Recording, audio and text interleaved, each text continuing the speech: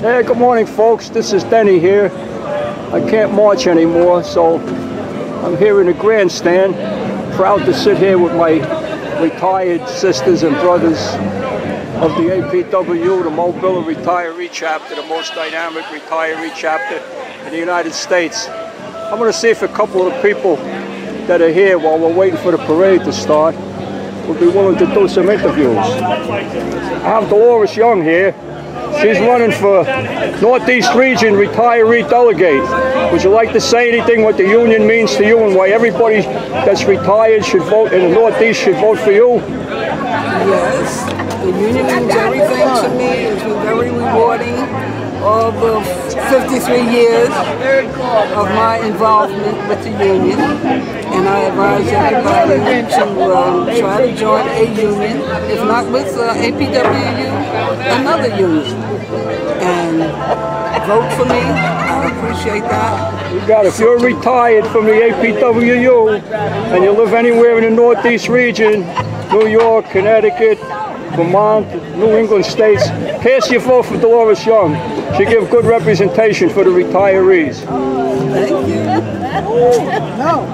I was in a basket. Right here we have Miss Eleanor Bailey, who is a triple threat.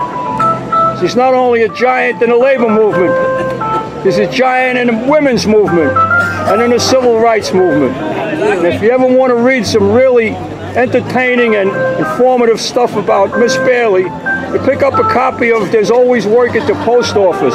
Go back to the index and look up Eleanor Bailey and look up the pages. The author has some delightful stories about Miss Bailey, especially about her interaction with her own beloved father when he was crossing the picket lines in 1970. Anyway, Miss Bailey, would you like to say anything for the camera about what unions mean and Labor Day and the APWU and anything you may wish to say? Can you believe it? I'm almost tongue-tied. but anyhow, what I'm hoping that this would inspire our younger folks to become much more active because we're having a trouble, we're having problems saving the post office for you because you got to be involved. Definitely get involved. Please, please, please, please, please, please, please. Thank Join you. the union. Thank you, Miss Bailey. Miss Bailey, by the way, although retired, she's the dynamic president of the best retiree chapter in our union, the Mobile Retirees chapter. This lady I do not know, but she's from, apparently from DC 37, Yes. which was my father's union.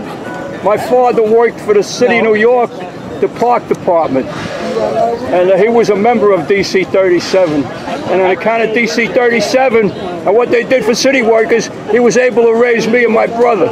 Would you like to say anything for the cameraman?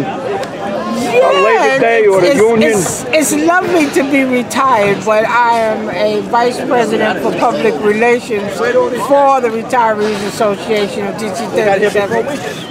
But I'm still working. There you go. You never give up. We never give up. Even when we're retired, we're still out here working for the union, us retirees. Thank you. Ladies and gentlemen, this young lady right here working on the t-shirts uh, is Pat Parrish. She's a retired postal worker. Now, Pat was a letter carrier, but she belonged to both unions. And I understand, correct me if I'm wrong, Pat, but you paid full dues to both the APWU Metro and the NALC Branch 36. Yeah, you want to talk about a unionist. You got people in the post office that don't even belong to the union. They ride on our backs. And you got other people like Pat that for her whole career as a letter carrier, she paid full dues to both the NALC and the APWU. So young people can take somebody like this as an example. Two full dues to two different unions. And Pat is now active every day with the Stop Staples campaign. Uh, Pat, would you like to say something for the camera about Labor Day or why you paid two dues or whatever, or why you so you big with the union? When I started, I started as a clerk carrier. And I was a clerk before I was a carrier. I changed over to carrier. And I stayed with both unions. I thank God for the union. I thank God for the post office. I thank God he let me retire. Thank you, Pat.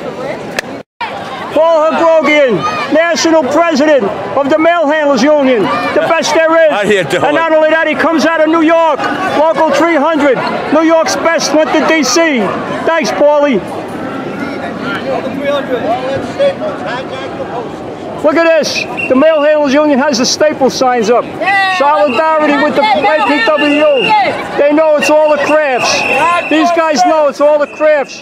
We all got to stick together. The mail handlers know. Look at this guy here, Tommy Mirata. You want to say a word for the camera, Tommy? Yes, this guy John Dennie is one of. He's got the brassest that you've ever seen. He occupied John Ice. Uh, uh, Thank you, Daryl Tommy. Darrell Issa's Thank office you, Tommy. when we needed it, and they were on Oh, hunger God, you're strike. too kind to the old fool, Tommy. No, but uh, no, you you stood tall when we needed it. Thank you. Tommy. I'm really gratified to see you guys got the uh, Stop Staples things up there. Absolutely. Tell Paulie I said thank you. keep it up. Thank you. NALC, Branch 294. Branch 294 represents the letter carriers in Flushing and Queens. They got a great president,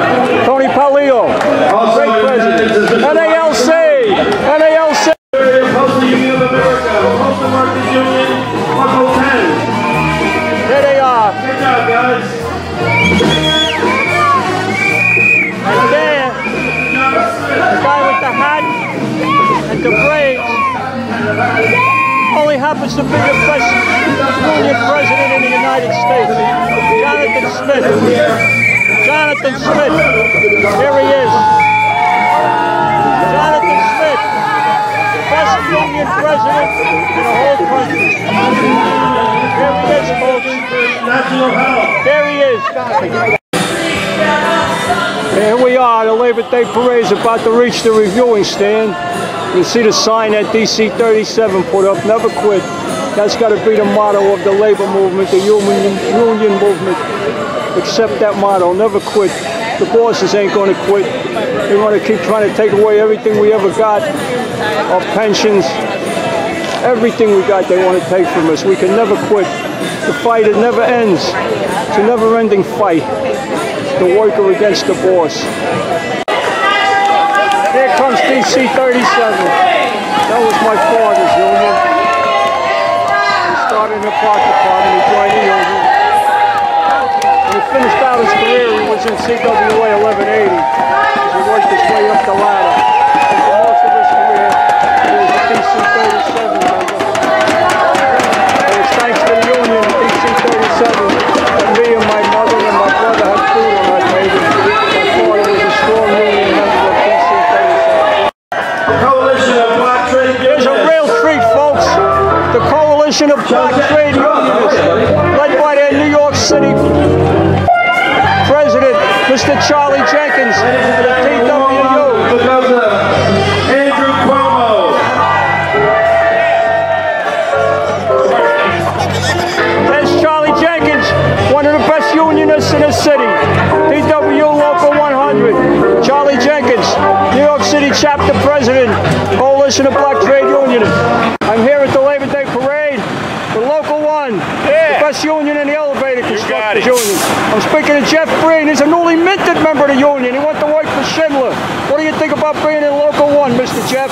Great. Great, right? Yes. Benefits, everything else, security. You got Can't it. beat it, my brother. You're right. All right, my brother. Thank you. And don't forget, don't buy staples. I won't buy staples. Thank you, Jeff. Take care. Hey, they're still coming up, Local 1. Local 1 is number one. You can't beat a Local 1. Elevator, elevator men do it up and down. You can't beat them. They're the best. How about that? New York City Union made. Union made, New York City. Still a union town. Get up, get down. New York is a union town. Marvin Holland, TWU. One of the best unionists in New York City. CWA, folks. The Communication Workers of America, Chris Local Shelton, 101. their Led by president. their president, Mr. Keith Purce. Dennis Trainor, Vice President, District 1. They just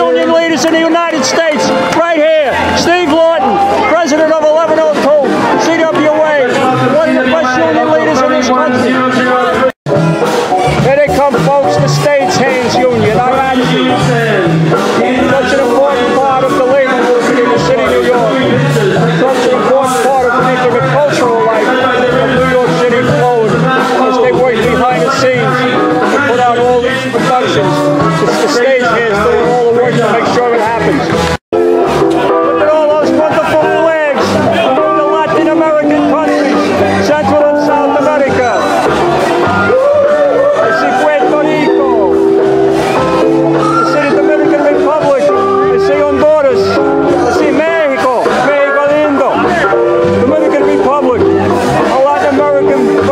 Look at Here, folks, uh, there's a little labor history. The uh. United College Employees, FIT, are marching with the people that every year they put together these shirtwaists. We have the name of all the people who were killed in a fire in, uh, in 1911 down here by uh, down here by Washington Square in the Triangle Shirtwaist Fire. Well, uh, if you don't know about the Triangle Shirtwaist Fire, you should Google it. UFT, United Federation of Teachers, led by their president, Mike Mulgrew, Island president, by the way. If you can, if you can read, thank a teacher. This is my son's union, the UFT, and also my daughter-in-law's union. Both members of the UFT. Here they come with the blue and white umbrellas. If you can read, thank a teacher. The cops are the finest, the firemen are the bravest, UFT. sanitation are the strongest, and the teachers are New York's